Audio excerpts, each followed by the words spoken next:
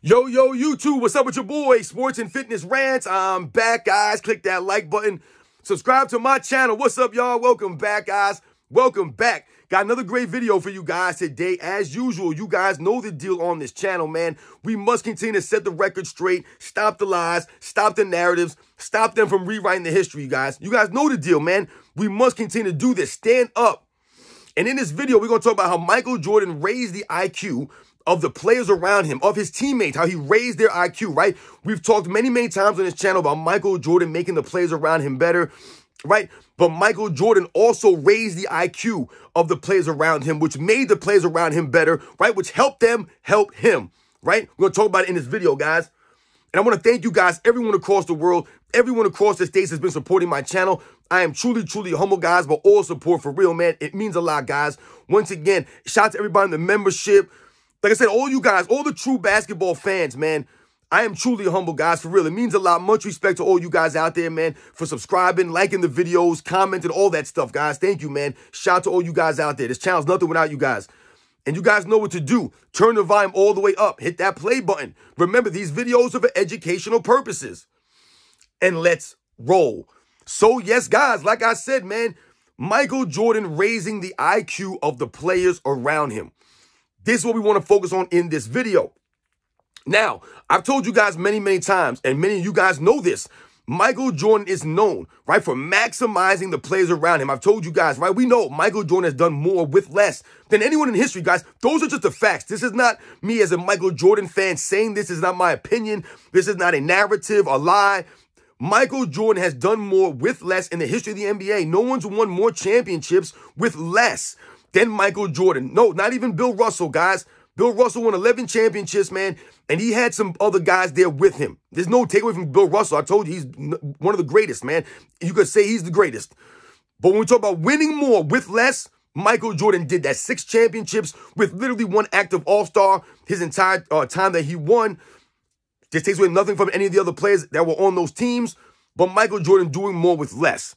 Those are the facts, guys. So when we think about that aspect of Michael Jordan, right? That's him maximizing his teammates.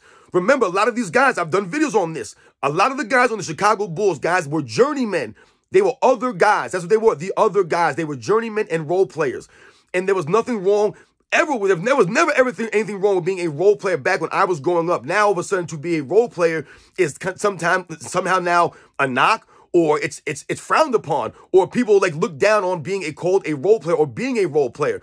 Whereas back in my days, to be a role player, like I said, to have a role on a championship team and to play that role and and and fill that role, that was valuable. You guys were valued, man. We remember the John Paxsons, the BJ Armstrongs, the Cliff Levingston, the Craig Hodges, the Ron Harpers, the Tony Kukocs, the, the Steve Kerrs, the Luke Longleys, the, the Brian Williams, Right? We remember all these guys, the Scott Burrells and the Bob Hansens, the Jud Buechlers, Right? We remember all these guys because they played a role and they were valuable to the team. So when we think about Michael Jordan, like I said, maximizing the players around him, I've told you guys what Michael Jordan raised the confidence level of all of those other guys, the Scottie Pippens, the Horace Grants, by being a big brother to a lot of these guys, right? And holding them to that standard, right? So when we talk about the standard, right? I'm always telling you guys, he held the Chicago Bulls to a standard of excellence in practice. You've heard these guys say, man, the practices were harder than games sometimes because of the way that there was, the intensity, right, of the practices, right? Michael Jordan always wanted the Bulls to be focused and understanding what the task was, was to win a championship. So the details mattered.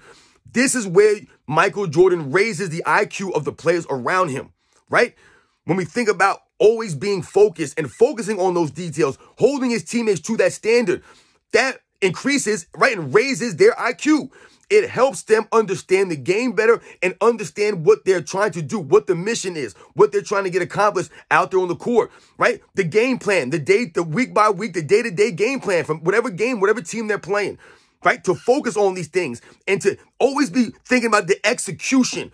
When you think about the Chicago Bulls led by Michael Jordan, you never remember any times, or I don't at least remember any times during that stretch where you looked at the Bulls and you thought they were beating themselves. Where you're like, damn, man, the Bulls are just beating themselves right now. And they didn't win because they beat themselves or they made some really bad mistakes. Yes, the Bulls make mistakes? Absolutely. They're not perfect. Did they lose games because they made mistakes down the stretch or they folded up or whatever the case may be, right? They they might have turned the ball over. You know, maybe they had a charge or something like that, or the shot clock ran down on them. Absolutely, man. It happens to all the great teams, right? All throughout NBA's history.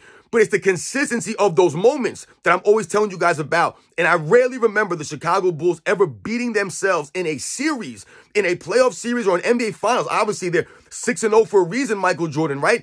Because they never beat themselves. They weren't going to fold up down the stretch. More often than not, you were going to have to beat the Chicago Bulls. This is what made them so formidable.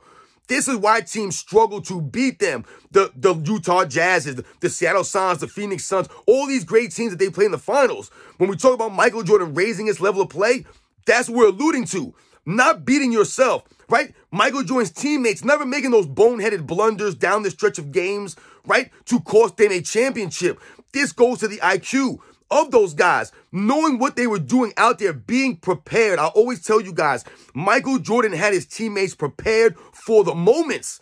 So there were no blunders out there, right, of epic proportions that you remember in your mind to this day. You don't think about any of those things in an NBA Finals, right? You think about John Paxson coming through with the shot, right? You think about uh, Steve Kerr coming through with the shot, right? You think about the plays of these other guys made right? You think about the Scottie Pippen contributions, right? And the Horace Grant contributions, Dennis Rodman, right? Tony Kukoc, right? The Luke Longleys, the Bill Cartwrights, right? You remember these guys, the guys coming off the bench, right? You remember the contributions these guys made. You don't remember these guys being like, oh yeah, remember 1992, man, when so-and-so cost them that game because of the blunder and it cost them a championship? You don't remember these things.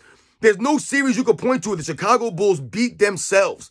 This is what made them so hard to beat. You had to beat them. And to beat them means you had to outperform Michael Jordan. And that's what made it hard. I told you these guys could not get to the level that Michael Jordan would raise to. So in the NBA Finals, when Magic Johnson was balling out of control and the Lakers were a good team, Michael Jordan took it to another level.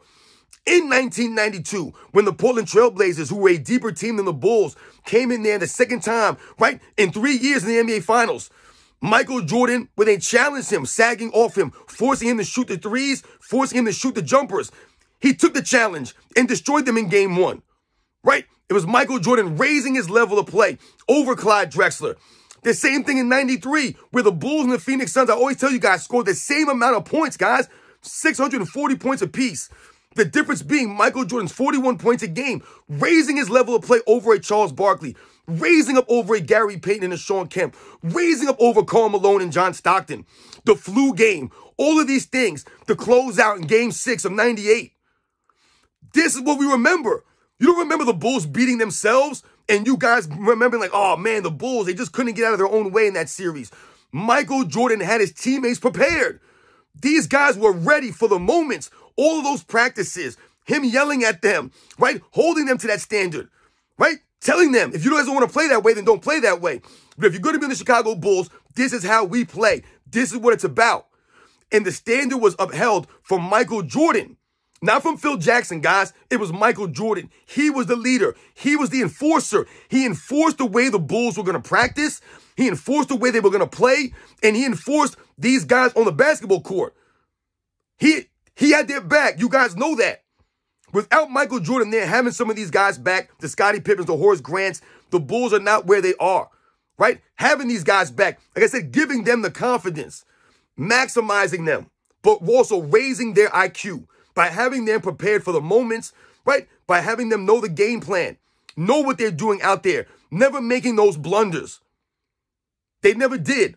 They were always ready that goes to Michael Jordan and the greatness, the leadership of him and the Chicago Bulls, all his teammates, their work ethics, their hard work that they put in to always be ready. Whenever Michael Jordan needed them, they were ready, guys. So you guys know the deal, man. Remember, when people talk about making your teammates better and and things like that, a lot of times they talk about stats or they talk about on-court play and things like that. We get all that. But when we talk about Michael Jordan and making your teammates better, some of the all-time greats that made their teammates better, it was the off the court stuff that we didn't see, the time in practice, right? The film study, right? Making these guys understand what they're watching on the film, making them pay attention, holding them to that standard. If there's no one there to uphold the standard and guys are lollygagging, they're not really paying attention, they're not really prepared. Right? The Bulls were prepared, guys. The only time I ever saw the Bulls like not be prepared almost or be rattled was game one of the 1991 NBA Finals. That's the only time that I saw Michael Jordan's teammates. They were nervous out there. You could tell they were completely nervous in the moment. Pippen, Grant, Cartwright, Paxson, all these guys, you could tell they were nervous out there. But it was Michael Jordan right, who galvanized them, the leadership, having them, pushing them, having them prepared, that they never folded up for an entire series. It never lasted for a series. Maybe they lost a game here, they lost a game there, they made some bad plays here or there. But once again, they never made the consistent blunders or things to cost them wins. You guys know the teams in NBA's history. There have been great teams in NBA's history that have been known for beating themselves or not being able to get out of their own way. Whatever the case may be, whatever ailed them. Michael Jordan Chicago Bulls, they never had that problem. You had to go out there and beat them. They weren't going to beat themselves, guys. That goes to the IQ of Michael Jordan and the IQ of his teammates. Him making them better, helping them understand the game. You guys know the deal, man. I'll catch you guys on the next one.